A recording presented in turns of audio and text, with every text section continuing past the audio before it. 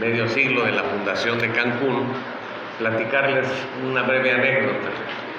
Eh, 1971, Luis Echeverría, siendo presidente de México, invita a presidentes de asociaciones allá en el Salón de los Equipales, famosos allá en Los Pinos,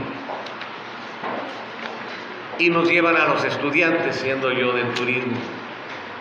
Entonces, pues era la primera vez que tenía una reunión, aunque sea de relleno, pero ahí en la casa oficial.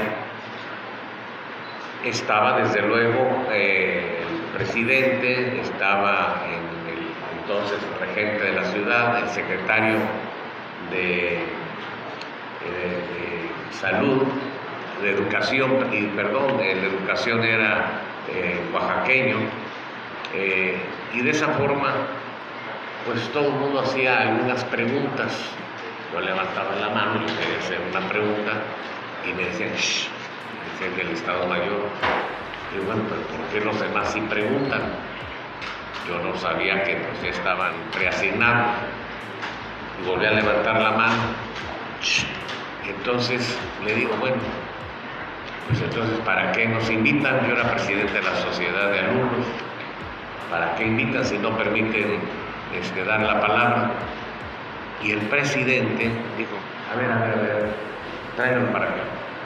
Y corre un espacio en el equipal al secretario de Educación, eh, que era oaxaqueño, y me ponen a mí, me dice, ahora sí, a ver, opine.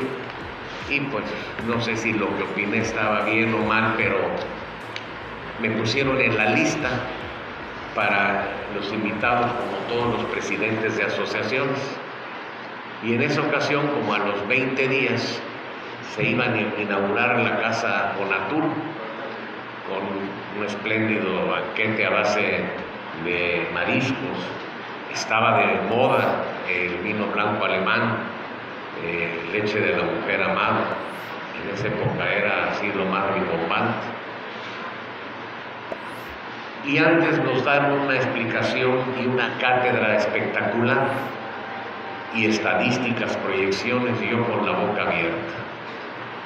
Cuando ya nos bajamos para ingresar a la casa Bonatú,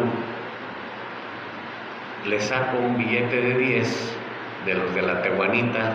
Todos ustedes son muy jóvenes, no lo conocieron, pero de aquí algunos sí, quitando a quienes están del lado izquierdo. Le di un billete, le dije muchas gracias.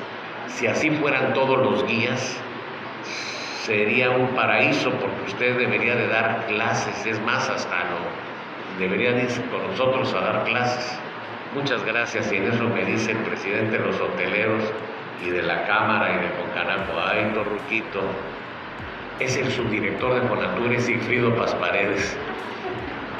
Esa fue mi entrada para poder tener plática con ellos y hoy consideré propicio hacer esta, este comentario de manera de anécdota. A partir de ahí nos hicimos muy buenos amigos, una persona a quien admiré, desde luego Antonio Enríquez, siempre el gran maestro de maestros, y don Miguel Alemán, maestro y constructor del.